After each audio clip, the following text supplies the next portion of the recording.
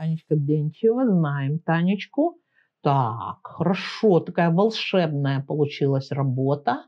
Тоже, Танечка, пожалуйста, сделайте эм, э, землю э, рав, ровнее немножко, чтобы она все-таки, как вы только сделаете землю, у вас сразу захочется вам сделать туфельки на каблучках.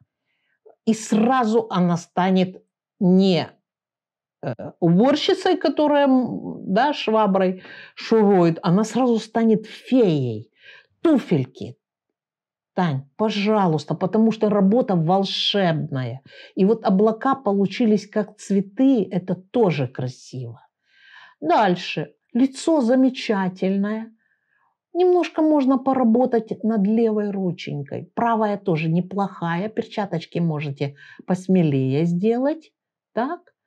И вот у меня единственное, что это туфельки на каблучках хочется сделать. Просто сделайте шарик на месте пятки и такую, знаете, тоненькую полосочку вниз, кадмий красный, вот как облака, только поярче чуть-чуть. Юбку можно шире чуть-чуть сделать вправо, а можно и не делать, хорошая юбка.